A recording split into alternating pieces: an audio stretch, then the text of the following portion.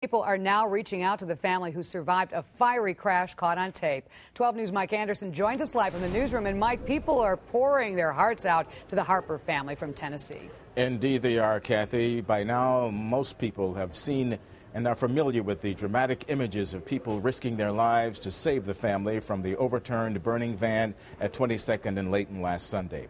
The four year old boy rescued from the van remains in serious but stable condition tonight with burns over 20% of his body. He and his family still need much help, and from the bottom of their hearts, people are responding. Milwaukee firefighters John and Joel Rechlitz were heroes, off duty when they busted their way into a burning vehicle last Sunday to save the life of four year old DJ Harper. His mom and little sister had been freed seconds earlier by neighbors. Today, John and Joel must add the title ambassador to their names, ambassadors of goodwill. Thanks again, guys. Oh, absolutely. You bet. Thank you. Thank you. Thank you. Thank you. Just remember, hug your kids a little, You bet. little harder each oh, night you go to bed. You bet. You bet. The owner of A&W Root Beer honored the firefighters by giving away free ice cream floats as a show of appreciation.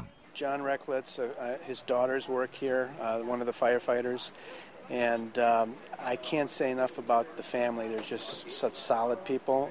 We're an all-American restaurant, and um, I think uh, it's appropriate to um, to honor people when they deserve it. The feeling is mutual and contagious. The honor quickly turned into a fundraiser for the Harper family.